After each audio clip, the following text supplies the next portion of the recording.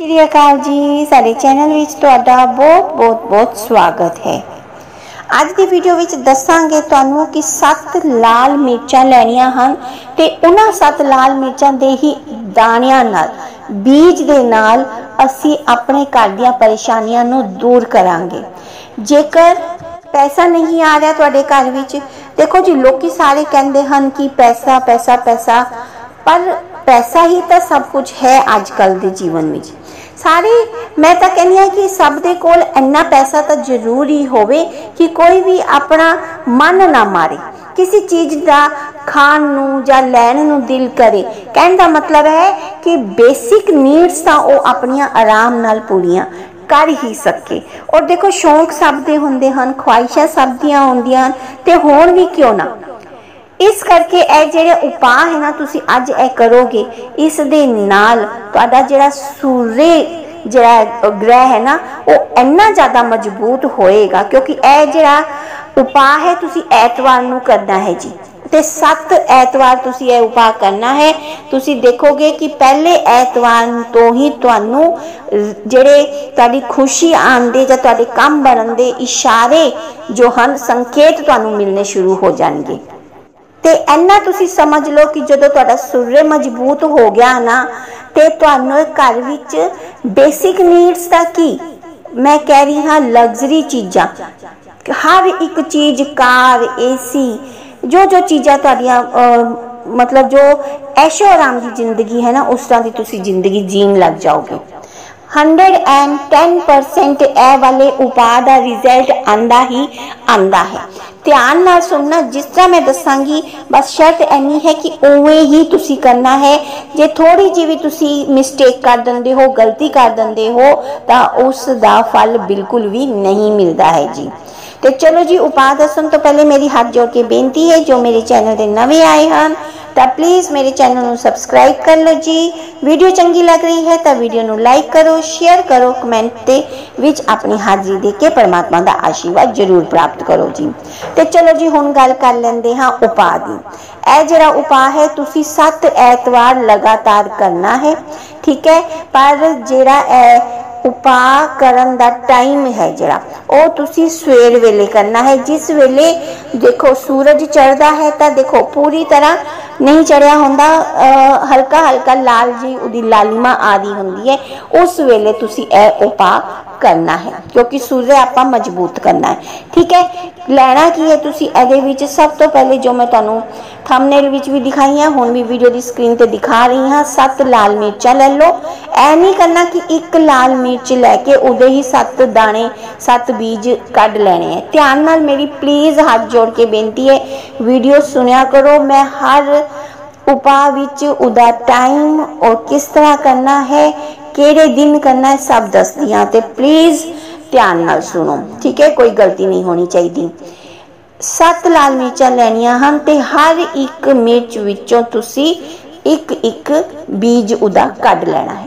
ਬੀਜ ਦੇ ਦਾਣੇ ਉਹ ਲਾਲ ਮਿਰਚ ਦੇ ਬੀਜ ਕੱਢ ਲੈ ਉਹਨੂੰ ਸਾਈਡ ਤੇ ਰੱਖ ਦੇਣਾ ਹੈ। ਉਸ ਤੋਂ ਬਾਅਦ ਤੁਹਾਨੂੰ ਚਾਹੀਦਾ ਹੈ ਇੱਕ ਲਾਲ ਫੁੱਲ।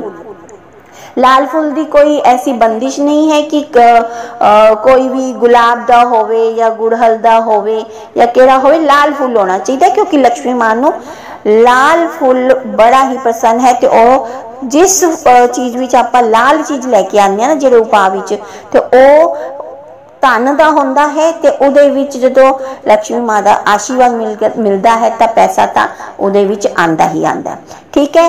ਲਾਲ ਫੁੱਲ ਲੈ ਲੈਣਾ ਹੈ ਇੱਕ। ਫਿਰ ਉਸ ਤੋਂ ਬਾਅਦ ਤੁਹਾਨੂੰ ਚਾਹੀਦਾ ਚਾਹੀਦਾ ਹੈ ਤਾਂਬੇ ਦਾ ਇੱਕ ਲੋਟਾ। ਉਹਦੇ ਵਿੱਚ ਤੁਸੀਂ ਜਲ ਪਾ ਲੈਣਾ ਹੈ, ਜਿਹੜਾ ਤੁਸੀਂ ਜਲ ਪੀਂਦੇ ਹੋ। ਇੱਕਦਮ ਸਾਫ਼ ਸੁਥਰਾ ਜਲ ਉਹਦੇ ਵਿੱਚ ਪਾ ਲੈਣਾ ਹੈ ਤੇ ਇਹ ਸੱਤ ਜਿਹੜੇ ਬੀਜ ਕੱਢੇ ਹੈ ਆਪਾਂ ਲਾਲ ਮਿਰਚ ਦੇ, ਉਹ ਵਿੱਚ ਪਾਣੇ ਹੈ ਜਲ ਦੇ ਤੇ ਇਹ ਜਿਹੜਾ ਲਾਲ ਫੁੱਲ ਲੈ ਕੇ ਆਏ ਹੋ, ਉਹ ਵੀ ਤੁਸੀਂ ਜਲ ਦੇ ਵਿੱਚ ਪਾ ਦੇਣਾ ਹੈ। ਹੁਣ ਇਹ ਤਾਂ ਹੋ ਗਿਆ ਸਾਡੀਆਂ ਚੀਜ਼ਾਂ ਜੋ ਸਾਨੂੰ ਉਪਾਅ ਵਿੱਚ ਚਾਹੀਦੀਆਂ। ਹੁਣ ਇਸ ਨੂੰ ਕਰਨਾ ਕਿਵੇਂ ਹੈ? ਹੁਣ ਤੁਹਾਡਾ ਇੱਥੇ ਮੇਨ ਤੁਹਾਨੂੰ ਧਿਆਨ ਦੇਣ ਦੀ ਜ਼ਰੂਰਤ ਹੈ ਜੀ। ਹੁਣ ਤੁਸੀਂ ਇਹ ਜਿਹੜਾ ਜਲ ਦਾ ਲੋਟਾ ਤਿਆਰ ਕੀਤਾ ਹੈ ਇਸ ਨੂੰ ਲੈ ਕੇ ਵੇੜੇ ਵਿੱਚ ਆ ਜਾਓ ਜਾਂ ਛੱਤ ਤੇ ਚਲੇ ਜਾਓ। ਕਈ ਲੋਕ ਕਹਿੰਦੇ ਹਨ ਕਿ ਅਸੀਂ ਸਾਡਾ ਟੈਰਿਸ ਨਹੀਂ ਹੈ, ਫਲੈਟ ਵਿੱਚ ਰਹਿੰਦੇ ਹਨ ਤੇ ਕੋਈ ਗੱਲ ਨਹੀਂ, ਬਾਲਕਨੀ ਵਿੱਚ ਆ ਜਾਓ, ਜਿੱਥੇ ਤੁਹਾਨੂੰ ਸੂਰਜ ਨਜ਼ਰ ਆਵੇ। ਠੀਕ ਹੈ? ਉਸ ਜਗ੍ਹਾ ਤੇ ਤੁਸੀਂ ਇਹ ਲੋਟਾ ਜਲ ਦਾ ਲੈ ਜਾਣਾ ਹੈ ਤੇ ਲੋਟਾ ਦੇ ਪਾਣੀ ਹੈ ਜਿਹੜਾ ਉਸ ਨੂੰ ਇਸ ਤਰ੍ਹਾਂ ਉਹਦਾ ਫੋਕਸ ਰੱਖਣਾ ਹੈ ਕਿ ਉਸ ਦੇ ਅੰਦਰ ਤੁਹਾਨੂੰ ਸੂਰਜ ਦੀ ਪਰਛਾਈ ਜਾਂ ਉਹ ਸੂਰਜ ਦੀ ਜਿਹੜੀ ਰੋਸ਼ਨੀ ਹੈ, ਉਹ ਪੂਰੀ ਉਹਦੇ ਵਿੱਚ, ਲੋਟੇ ਦੇ ਜਲ ਵਿੱਚ ਪਵੇ। ਠੀਕ ਹੈ? ਤੇ ਉਸ ਜਲ ਨੂੰ ਦੇਖ ਕੇ ਤੁਸੀਂ ਆਪਣੀਆਂ ਇੱਛਾਵਾਂ ਬੋਲਦੀਆਂ ਹਨ, ਆਪਣੀ ਮਨੋਕਾਮਨਾ ਬੋਲਣੀ ਹੈ ਠੀਕ ਹੈ? ਇਸ ਤਰ੍ਹਾਂ ਕਰਕੇ ਕਿ ਸਾਡੇ ਘਰ ਵਿੱਚ ਪੈਸਾ ਆ ਜਾਵੇ, ਠੀਕ ਹੈ? ਸਾਡੀ ਬੱਚੇ ਦੀ ਨੌਕਰੀ ਲੱਗ ਜਾਵੇ, ਸਾਡੀ ਦੁਕਾਨ ਚੱਲ ਜਾਵੇ, ਸਾਡਾ ਵਪਾਰ ਚੱਲ ਜਾਵੇ, ਜਾਂ ਫਿਰ ਕੋਈ ਵੀ ਤੁਹਾਡੇ ਘਰ ਵਿੱਚ ਕੋਈ ਬੱਚਾ ਪੜ੍ਹਾਈ ਨਹੀਂ ਕਰਦਾ ਹੈ, ਬੱਚਾ ਪੜਨ ਲੱਗ ਜਾਵੇ, ਬਸ ਕਹਿਣ ਦਾ ਭਾਵ ਹੈ ਕਿ ਜੋ ਤੁਸੀਂ ਘਰ ਵਿੱਚ ਚਾਹੁੰਦੇ ਹੋ, ਉਹ ਤੁਸੀਂ ਲੋਟੇ ਦੇ ਜਲ ਨੂੰ ਦੇਖ ਕੇ ਬੋਲ ਦੇਣਾ ਹੈ। ਠੀਕ ਹੈ? ਬੋਲਣ ਤੋਂ ਬਾਅਦ ਇਹ ਇਹ ਗੱਲਾਂ ਤੁਸੀਂ ਬੋਲਣ ਤੋਂ ਬਾਅਦ ਕੀ ਕਰਨਾ ਹੈ? ਅੱਖਾਂ ਬੰਦ ਕਰਕੇ ਆਪਣੇ ਪਰਮਾਤਮਾ ਨੂੰ ਯਾਦ ਕਰਨਾ ਹੈ। ਜਿਹੜੇ ਵੀ ਤੁਸੀਂ ਪਰਮਾਤਮਾ ਨੂੰ, ਗੁਰੂ ਨੂੰ ਮੰਨਦੇ ਹੋ, ਜੋ ਦੇਵੀ ਦੇਵਤਾ ਜਾਂ ਇਸ਼ਟ ਆਪਣੇ ਦੇਵੀ ਦੇਵਤਾ ਨੂੰ ਮੰਨਦੇ ਉਹਨਾਂ ਨੂੰ ਯਾਦ ਕਰਕੇ, ਠੀਕ ਹੈ? ਇਸ ਜਲ ਨੂੰ ਆਪਣੇ ਘਰ ਵਿੱਚ ਕਿਧਰੇ ਵੀ ਮਿੱਟੀ ਵਾਲੀ ਥਾਂ ਹੋਏਗੀ, ਦੇਖੋ ਮਿੱਟੀ ਵਾਲੀ ਥਾਂ ਵੀ ਗੰਦੀ ਨਹੀਂ ਹੋਣੀ ਚਾਹੀਦੀ ਕਿ ਉਧਰ ਉਧਰ ਕਚਰਾ ਪਿਆ ਹੋਵੇ ਉਹ ਸਾਫ਼ ਸੁਥਰੀ ਮਿੱਟੀ ਵਾਲੀ ਥਾਂ ਹੋਵੇ ਜਾਂ ਤੁਹਾਡੇ ਘਰ ਵਿੱਚ ਪੇੜ ਪੌਦੇ ਲੱਗੇ ਹਨ ਉਹ ਹੋਵੇ ਉਹ ਵਾਲਾ ਜਲ ਤੁਸੀਂ ਉੱਥੇ ਪਾ ਦੇਣਾ ਹੈ। ਬਸ, ਇੱਥੇ ਤੁਹਾਡਾ ਜਿਹੜਾ ਉਪਾਅ ਹੈ ਉਹ ਵੀ ਸਮਾਪਤੀ ਹੋ ਜਾਏਗੀ। ਇਹ ਸੱਤ ਐਤਵਾਰ ਨੂੰ ਲਗਾਤਾਰ ਕਰਨਾ। ਤੁਸੀਂ ਦੇਖੋਗੇ ਕਿ ਤੁਹਾਡਾ ਸੂਰਜ ਮਜ਼ਬੂਤ ਹੋ ਗਿਆ ਹੈ ਤੇ ਪਹਿਲੇ ਐਤਵਾਰ ਹੀ ਤੁਹਾਨੂੰ ਅੱਛੀਆਂ ਨਿਊਜ਼ ਆਣੀਆਂ ਸ਼ੁਰੂ ਹੋਣਗੀਆਂ।